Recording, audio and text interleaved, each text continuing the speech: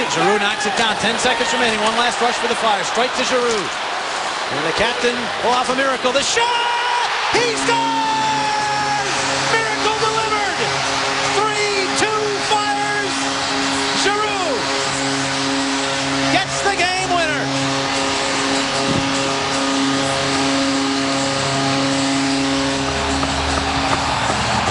A laser from the captain. He continues his remarkable run as he scores for a case of Tastykake. What a shot. Said, why don't we just end it now? What a shot. Flyers have hit so many posts, Bill, and this one seemed to come out. It really didn't come back out, but it looked as though it might have. Yeah, it did. It came back out and hit Raanta, but you know, you had to make sure it was in. Claude Giroux knew, and the Flyers overtime victors. Boy, he did a great job, Giroux did, of using Duncan Keith as a screen. That was in and out and off the back of Raanta, and it went in again. Oh, man. What a shot.